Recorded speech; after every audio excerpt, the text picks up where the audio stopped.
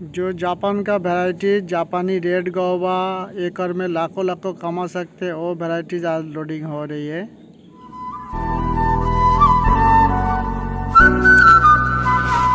Madan nursery channel से all Kishan भाई के लिए वेलकम अभी आप लोग जो देख रहे हैं ये रेड डायमंड ये देखिए जब भी छोटा फ्रूट रहते हैं कलर बहुत आ, हल्का कलर रहते हैं थोड़ा सा कलर आता है रेड डायमंड में।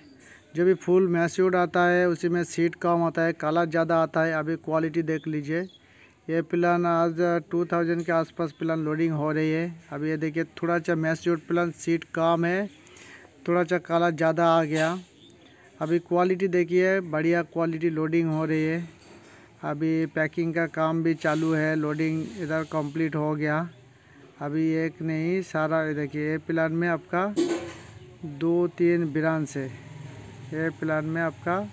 दो, तीन, ऐसा बिरान से अभी रखने के बाद भी देख लीजिए, पूरा स्टेट सीधा खड़ा है। ये आपका बड़ा पैकेट में एक बॉक्स में आपका फिफ्टी प्लान जा रही है।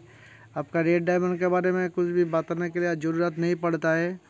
ये आपका बहुत से आदमी सीडलेस भी बताता है, कोई आदमी बोलता है, एक, दो सीट रहते हैं। अभी बिल्कुल एक, दो, तीन सीट रहते हैं, खाने के लिए बहुत अच्छा टेस्टी है, बढ़िया टेस्टी है। अभी एक फ्रूट में काट के भी दिखाऊँगा। और ये देखिए, पैकिंग कितना अच्छा तरह पैकिंग करके देता हो। उसके बाद प्लान डैमेज होने के लिए चांस बहुत कम रहते हैं। ये देखिए, जो फ्रूट काटा हुआ फ्रूट। हमारा दूसरा वीडियो भी अभी अभी फ्रूट दिखाया। अभी ये देख लीजिए।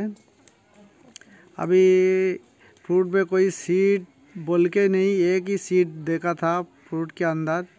अभी जितना बड़ा होगा सीट कम रहते हैं और फुल मैच्योर होने के बाद पूरा रेड कलर हो जाता है। अभी ये देख लीजिए, कोई सीट एक ही सीट देख रही है और पूरा फुल रेड कलर है।